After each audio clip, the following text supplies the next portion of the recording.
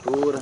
Exatamente. E aqui eu estou filmando o Paulo agora, É, Paulo de Tarso. Tudo bem. Muito bem. Lá, Secretária, dá um tchauzinho aí. Nós estamos indo para onde, secretária? Povoado Santa Rosa. Que- quais são, qual é a ação da secretaria que a gente vai... Nós vamos mostrar a construção de um campo agrícola realizado eh, com a ajuda da Secretaria de Agricultura. Lá E- tem plantio de mandioca, Aham. milho e feijão, todo dentro do sistema. E esse trabalho está sendo realizado em outras comunidades também, né? Sim, já foi realizado no Marruá, eh, foi realizado no Povoado Chapada e no Bacabauzinho e outras aí que a gente tem que numerar. Muito bem. Estamos passando aqui pelo nosso rio, Ita- Itapecuru, olha só.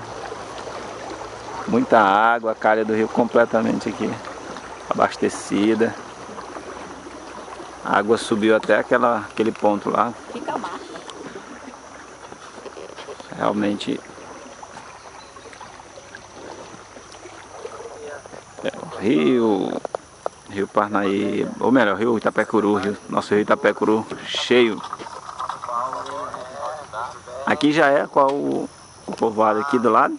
Que é aliança, né? Aqui, Aqui é a Aliança, né? Cajazeiro? Caseira? Lá em